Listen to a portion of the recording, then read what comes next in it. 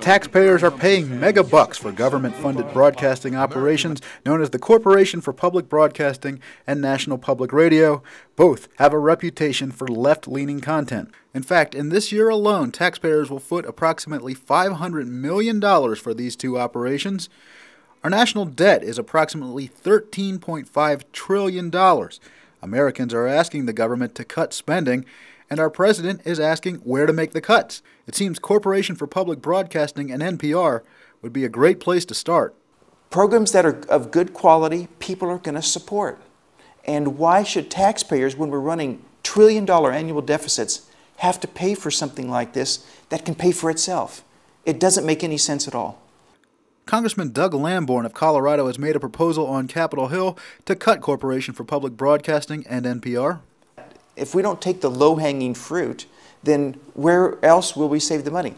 It's going to take some tough choices. There is a constituency for the Corporation for Public Broadcasting. Pardon me, would you have any Grey Poupon? But of course. Especially the people who would rather get the money on a silver platter than have to go out and work to sell advertising and bring it in the way everyone else has to, perhaps. But we have to make hard choices. If we're going to get our deficit under control, we have to make tough choices.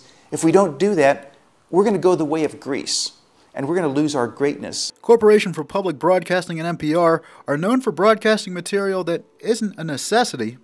It is a uh, total uh, luxury. It is a luxury in the sense that uh, this is not something people can't get other places.